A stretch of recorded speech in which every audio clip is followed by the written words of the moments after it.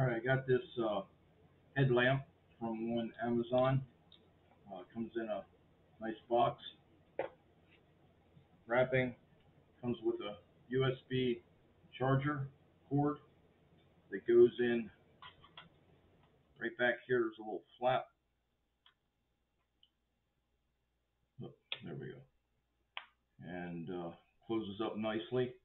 Uh, there's a power button right here, which turns on this part, and it has light or bright or low. Then it has a spotlight, and that's high or low. The other nice feature about this is it has a second button right here.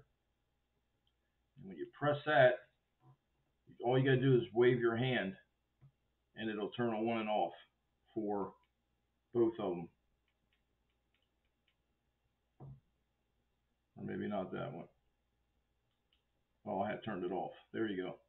So if you turn it on and off, then you just have to reset it when you turn it back on.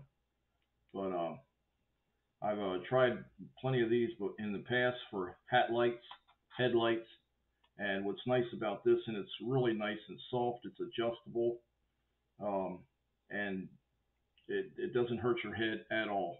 So even if you don't have a hat on or a hard hat, uh, this will go right around your head really nice and tight. And the only thing I can say is when you're having it on the wave kind where it turns off, if you get close to a cabinet or a wall, you know, it'll turn on on you. And sometimes you don't realize the sucker's on when it starts getting low battery.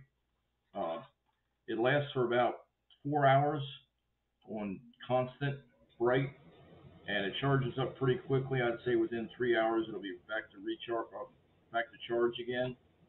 Uh, it also comes with clips that you can, there we go, clips that you can put onto your hard hat and then put it onto the uh, strap, and then that way it's on there nice and solid, won't slip off. So overall, it's really great for the price. I got two of them this time, and um, I'm real happy with them.